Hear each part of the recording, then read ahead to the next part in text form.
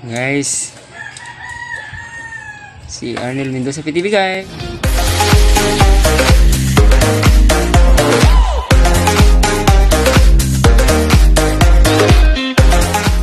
Guys. Ano guys, nagtaod ni og carburetor. How to replace carburetor in the motor.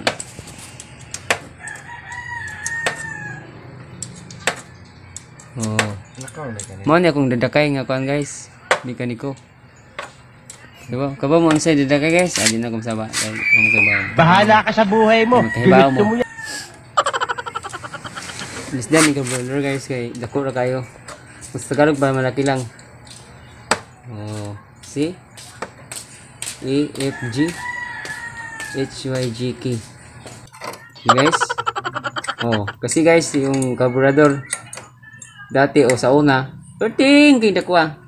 Ang laki. Kalas og gasolina. Nagalog sa kalas guys. Tong ng gasolina. Kasi kay kalas. Tong yan sa Tagalog. Lakas. Lakas kumain daw guys. Lakas tama. Lakas humigop. Kusog mukaon. Kusog muhigop. Lakas kay kusog kay ang tama. Mahal naman ang gasolina na ngayon. Problema mo na yan. Di ba? See? Kung sa bagay, walang ano, walang walang utang cash yun. Ah, oh. Kalas kasi kasyo. Kalas gasolina guys kay kasi guys, kung sa bagay, yung gasolina, kas kung sa Bisaya pa, kasi cash yun, hindi utang. kas, gastos ng gasolina guys, kasi, kasi hindi naman utang. Kaya gastos gasolina. Oh, see? Oh, how to replace a carburetor. A carburetor, guys. Ano ni carburetor? Oh, ito ang bagong carburetor. Carburetor, sa Bisaya pa, Karburador. carburetor. Dapat carburetor na. Bakit carburetor? Kay carburetor sa Bisaya. See? See? A, B, C. Ano na, gasolina na. Ba't okay na na? Yan. Hmm, see? Hmm. See? Ito guys, siya kaniko. Yan guys, si Albert Balatero. Wow, wow, wow! Oh my God! Hindi kasi guys, ang tabingi ang gas gasket niya guys.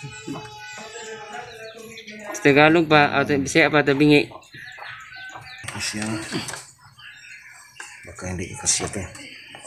Oh, baka hindi magkasya. Eh, Kahoy. Bigyan natin. Kasya kasi, ah, kasya. Hilakon sa kuning kanay kanang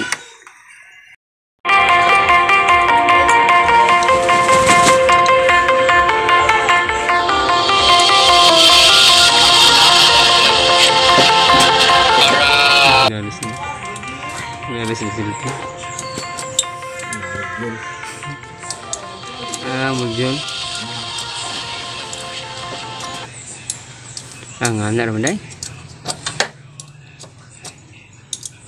Ang daan na. Wala na ito na isa.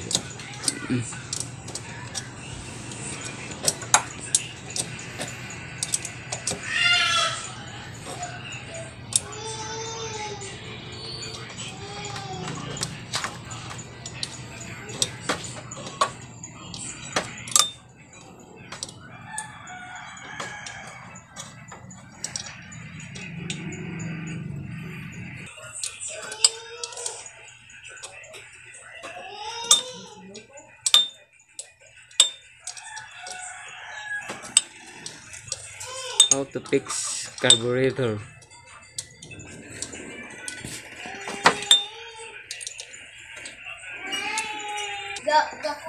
Hello guys. Hello guys. Ari guys.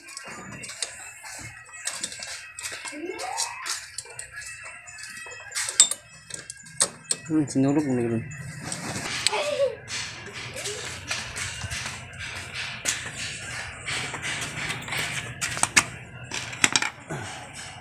Iba klase siya guys sa dati guys kasi laki.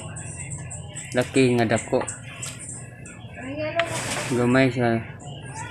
Gamay yung bagong bili namin. Bagong nga napalit guys ba. Di ba Bert? Oh yeah. Oh yeah. oh yeah. Rin kahit malaki ang dati naming carbu carburador o carburetor. Oh, see? Yan, si Albert Balatiro Impas. Mad- matagal, dugay na sa matagal. Nag-ayos at mag-ayo ng mga motor. Bugay na. Nahirapan. Tumang kalisod. Matagal na nahirapan sa tumang kalisod. Laging pinapawisan ng maraming singot. Wow!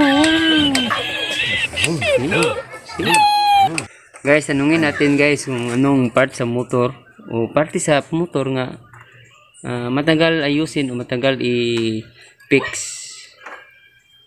Carburetor madali lang ita- itaod sa bisya i-fix natin. Madali na ba? O madali daw daw sabi niya guys. Daw daw. Ang mahirap daw i sa motor i taod o i-fix guys yung makina. O see guys.